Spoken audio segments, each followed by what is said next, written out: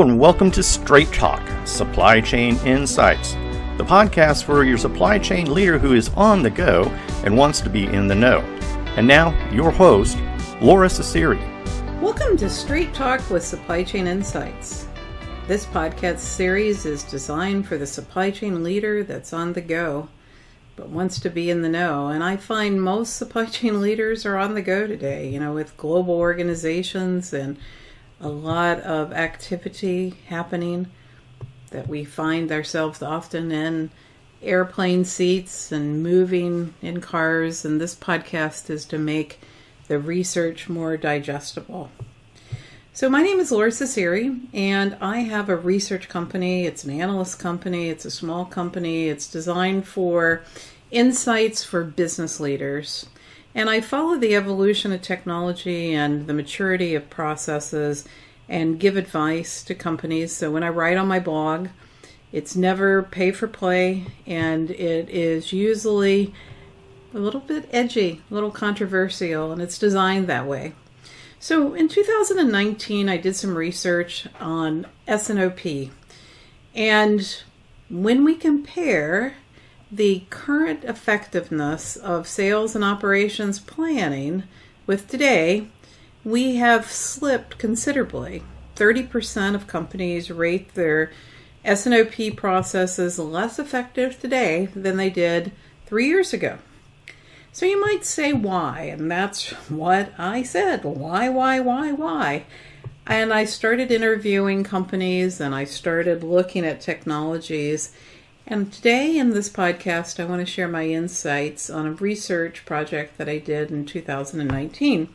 I started with the data from the research study, and the research study was based upon respondents that I sourced through my LinkedIn community of 316,000 people. And I had 107 business leaders that responded to the survey. And we looked at how do we define supply chain effectiveness when it comes to sales and operations planning? And how effective are today's processes? And those are deep topics of what is effective, right? So I rank effective supply chains as those that have the ability to have the same cost, quality, and customer service, irrespective of demand and supply variability. And demand and supply variability are increasing and the supply chain is becoming more intertwined and global and we have more corporate pressures whether it's corporate sustainability greenhouse gases plastic or whether it's um, you know the movement of material scarcity and the need to use materials that are a lower standard or the lack of availability of transportation or the need to move data more quickly we're not not short on challenges, but let's face let's focus on basics, right? Why is the S&OP process seen as less effective, three year span, and what can we learn? Well, one of the things that I think is a big gap is a focus on basics, right? Sales and operations planning should report to a profit center leader it should be balanced. The S should be balanced with the OP, and the focus needs to be on the ampersand. needs strong what if capabilities, and it needs the ability to work cross functionally to be able to implement a successful value chain strategy to implement a strategy. Business strategies are often not clear, and the uh, S&OP process will often not report to the organization that can make profit center decisions. In addition, because many organizations have become very focused on shiny objects, they're focusing on short term results, and sales and operations planning is really a process to look at the tactical horizon, which is the period from 10 to 12 weeks or whatever the slush period is when you're forming up orders to the tactical horizon where you manage constraints. So you're making asset decisions or you're making buying decisions. And the goal is to have a feasible plan to be able to look at how can you manage source make and deliver together to actualize a business strategy. Well, there's a lot there, right? What is the business strategy and what is an effective supply chain and how do I align source make and deliver to do that? Anybody that's in supply chain knows that those are not easy things to accomplish. It requires a lot of discipline. It requires looking at what are the lead times? How do I manage the time cycles? How do I introduce buffers? Where is my push pull decoupling points? And the design of the supply chain to be able to do that is really essential. Now, one of the things we find in today's companies is that many of the technologies are being implemented to basically orchestrate the S&OP meeting, which I call above the line, but below the line, getting ready for the meeting, uh, orchestrating the output of the meeting, which I call below the line.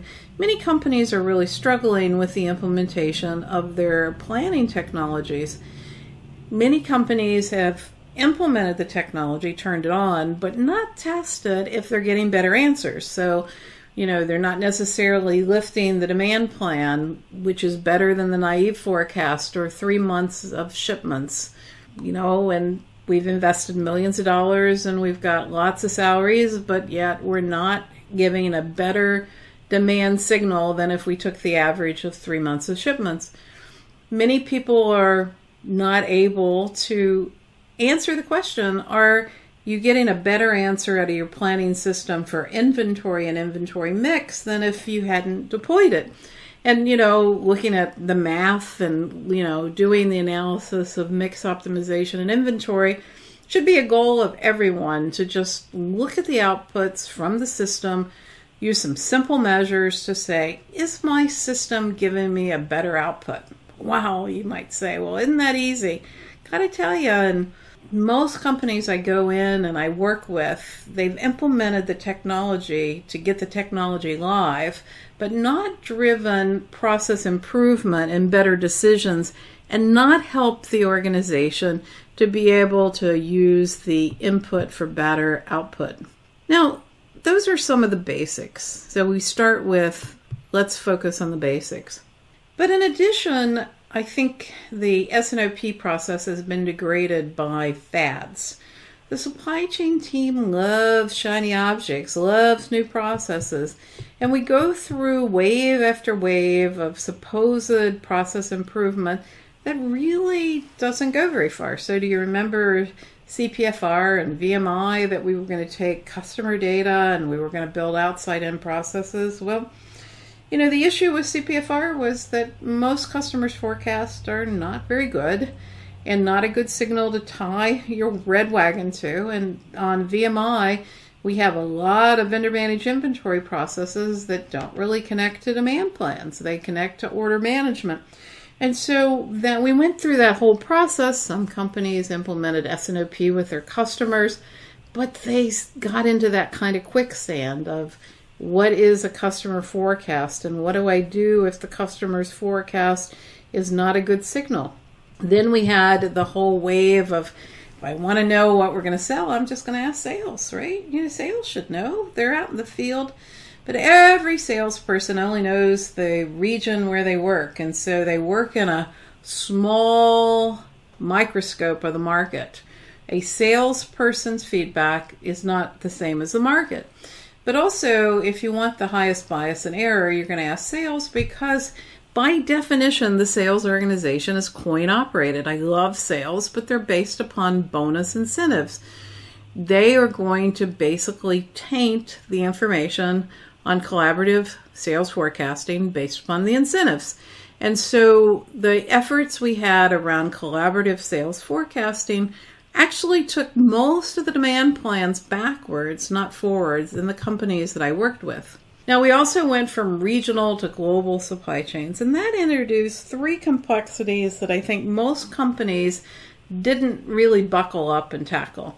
The first was we had more systems and more process differences as we went global, and we really did not assimilate that very well we didn't look at how do we align metrics, how do we align data, and we really let those processes sort of run, but we didn't drive global process improvement.